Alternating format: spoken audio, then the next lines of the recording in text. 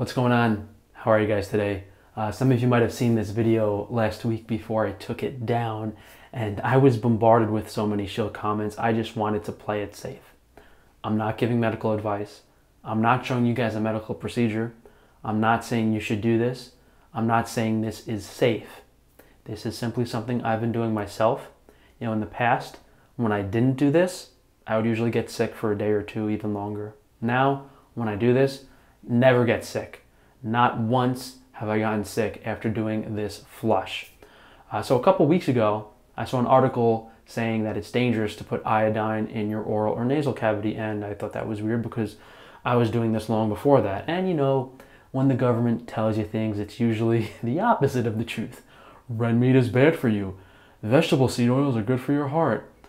The sun will give you skin cancer. I mean, they're lying, deceiving people, getting them to believe that what's bad for them is actually good for them and the opposite. So it's kind of hard uh, because people do trust and respect authority, even though authority wants a bunch of good little slaves. Uh, so you guys might have also seen my video over a year ago on halogens, on iodine, talking about how the government pollutes our food and water supply with bromide, fluoride, and chlorine, which are toxins to all of our cells, especially our brain. And iodine is an antagonist to those.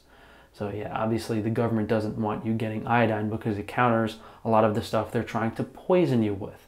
So let alone doing a flush like this, or even if they, you know, swab test you or put something in your mouth, this will clean it out. If they want you to get sick, this is the opposite of what they want you to do. Uh, some of you also commented on that video, hey Frank, that's bad. You're clearing out all of the good bacteria in your nasal and oral microbiome, and I don't think that's true at all because your esophagus and your stomach is very close. That good bacteria is just going to come back up before the bad foreign bacteria can go back down.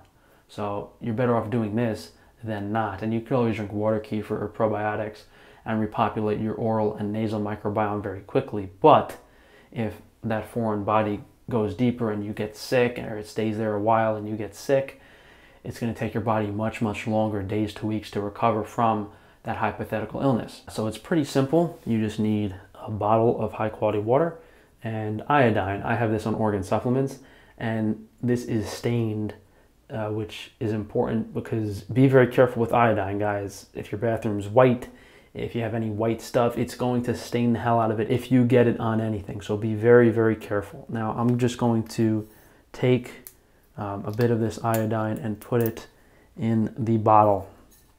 Now iodine has a transdermal absorption rate of about 10%, but if you put it in your body, it's much, much higher than that. I've made this to be much safer some of you guys are probably familiar with Lugol's iodine, which is a very high dose iodine. This is about 10% of the strength of Lugol, so it's much safer to do.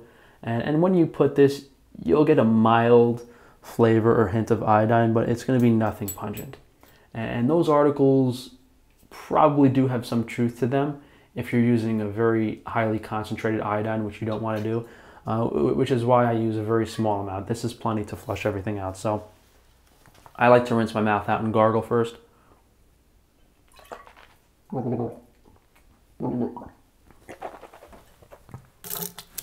Then you take a towel, put it right here, and we're just going to gently pour this up each nose.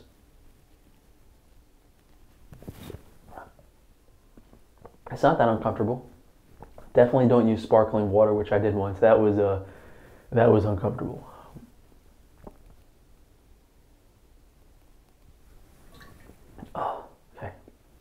So you feel it drip down into the back of your throat and really clean out that whole area. And then your ears open up.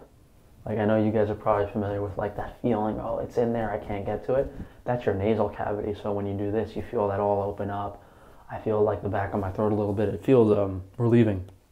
And I usually do this twice.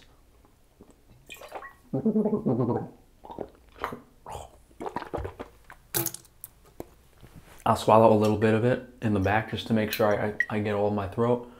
And then we'll do the nasal cavity again.